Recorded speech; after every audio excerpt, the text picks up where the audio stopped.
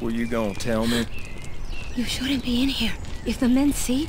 Do you think I wouldn't find out? What are you talking about? You know exactly what I'm talking about. You sold yourself to Ray for the gold. I didn't sell myself to anyone. He said he wanted the medallion, so I told him to take it. For himself? Or for you? For both of us. All of us. And what about Juarez? Ray said he would kill him. He's not the only McCall who knows how to handle a gun. But I don't want you to fight Juan. I don't want you to get hurt. But it's okay if Ray gets hurt. I'm not in love with Ray.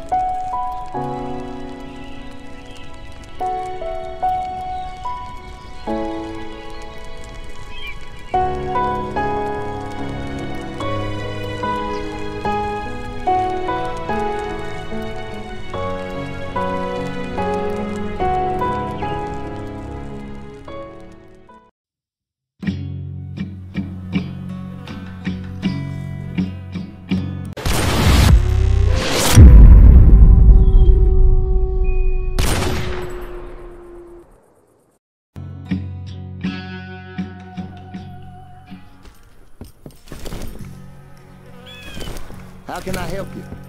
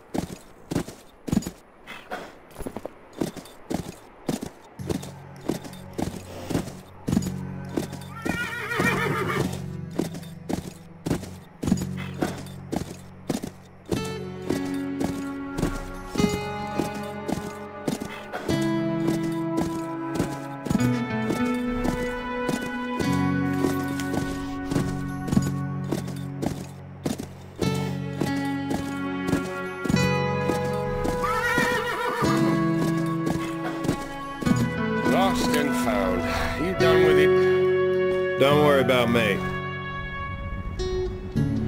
It's time to talk to Mendoza and his amigo, the smuggler. You sure about that? Let's go.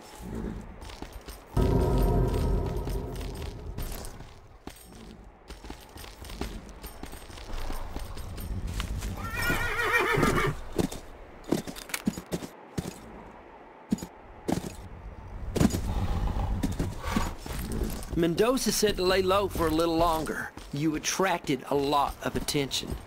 I've had enough laying low. Hold your horses, Ray. Can't hurt to stay in hiding for a little bit. Fine, little brother, let's hide then. At their hideout.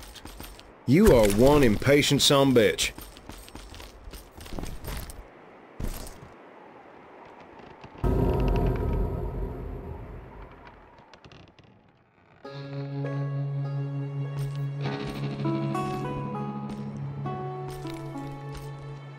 We're looking for Juarez.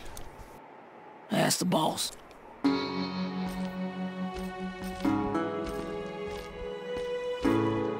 know that some bitch from somewhere.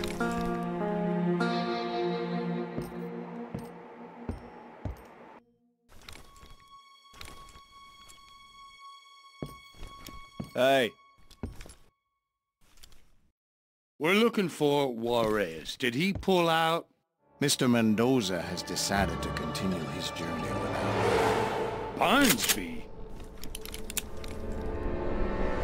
He didn't like the idea at first, but I convinced him it would be in his best interest to leave you two behind.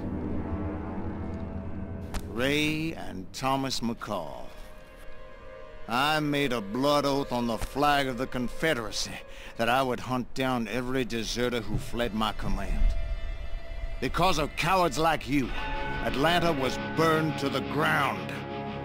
My wife and children murdered in their beds. Meanwhile, subhuman animals are now free to live among decent Christian folk. Free to do whatever they want. Fornication with our women. Miscegenation. Colonel, You for your betrayal.